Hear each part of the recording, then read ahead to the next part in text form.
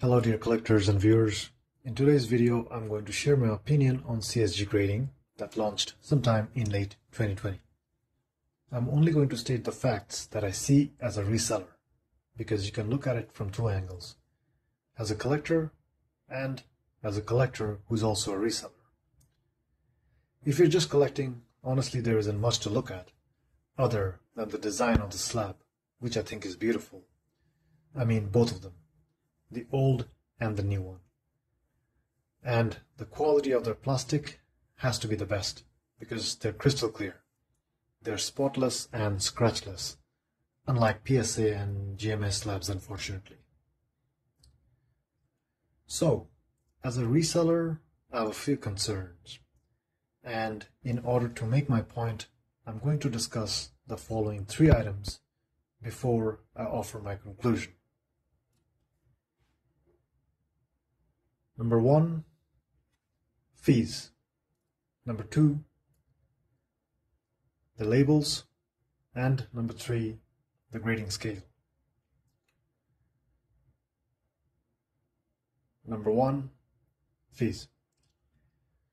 So initially when CSG launched, it started with a grading fee of $15 per card plus $10 for subgrades, which was optional. When I sent my first and only order to CSG last year, I had paid the initial grading fee of $15 per card plus $10 for the subgrades. Now in 2022, they have already increased the price to $20. That happened within one year of product launch. Now, I know this $5 increase is not a big deal, but it is for some Canadian sellers because of the exchange rate. When you pay $20, we pay $25.35 in Canadian currency as of today's exchange rate. So I think this price rise did affect some sellers, not necessarily Canadian sellers, but maybe uh, globally, maybe even the sellers that are outside of North America. Number two, labels. Another change they made was the label that happened in less than two years. The design did not change, but the color changed. The text used to be white and now it is yellow. The borders were green and now they're black. Does the new slab look good? Sure, maybe better. But what does this change indicate? I think they're still trying to figure it out because they do not have a defined label yet.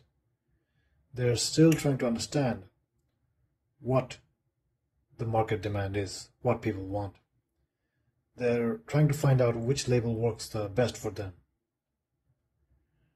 Now, when you're a mid-scale or a large-scale company, such frequent changes in such a short period of time does not give a good impression because it takes away the confidence of the customers that are actually interested in the product.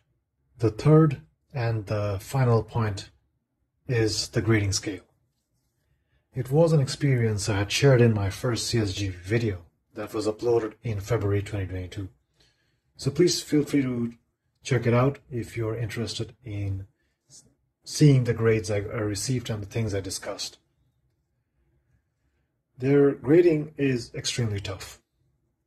Their mint rate is very low compared to any other company I can think of.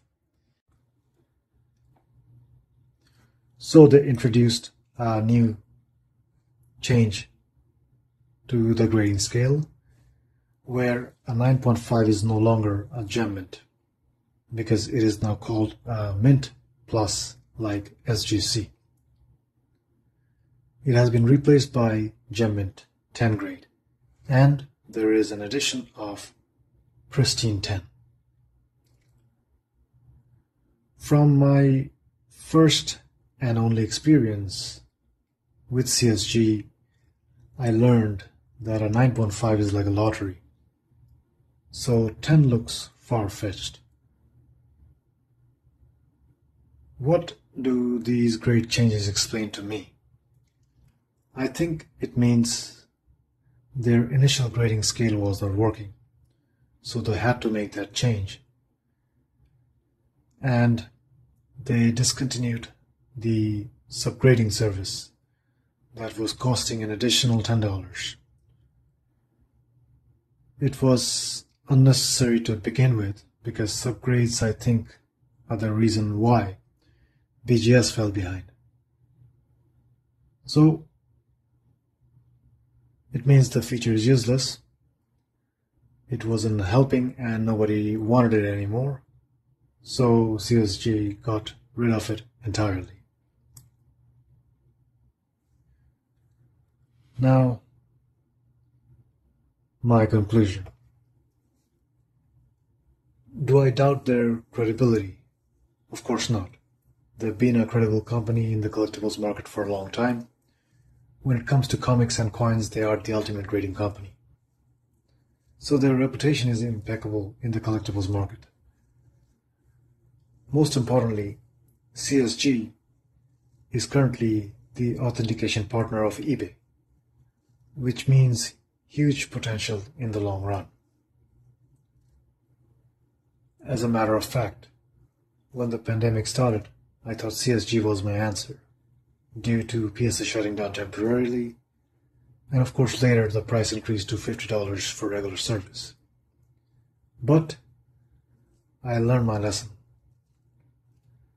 After receiving my first order last year.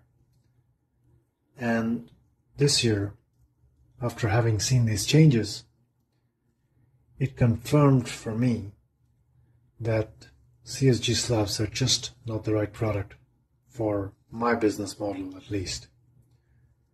I rely on Mint 9s and Gem Mint 10s because that's how my business survives.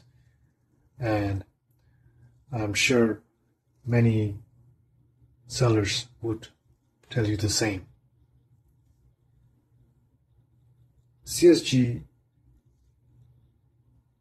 is not a fully established company yet in terms of their target market and the market segments, in my opinion. Because they have not earned that market recognition yet. Because they came up with a reasonable fee of $15 per card, only to raise it in six months. They were not sure about the label they were going to go with, so they changed it. They removed the, the subgrading service entirely and added new grades to the grading scale to make the grading even tougher. And all these changes were made in less than two years. So these multiple changes indicate they're still trying to find their identity because they're still experimenting, which suggests they are still in the early stage of research and development. They are still trying to find the right product the market wants. Therefore, as far as I'm concerned, I just don't see CSG as the perfect grading company. On top of that, their slab prices are not that great either.